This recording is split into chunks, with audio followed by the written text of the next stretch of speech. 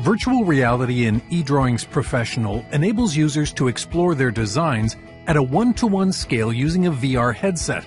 Originally introduced in 2019 as a beta feature, eDrawings Professional 2020 now fully supports virtual reality and delivers several enhancements.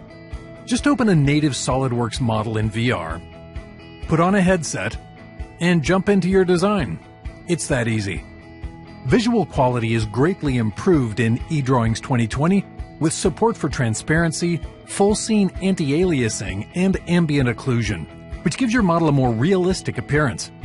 There are more options to control the sky and floor, including the option to add your own custom environment images. There's an option to fade the horizon to remove the hard line between the floor and sky.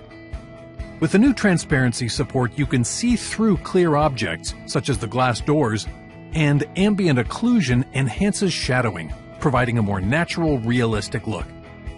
For companies seeking an immersive experience for their designs, eDrawings Professional 2020 provides a seamless path to virtual reality, allowing you to simulate physical presence with your design in a virtual environment.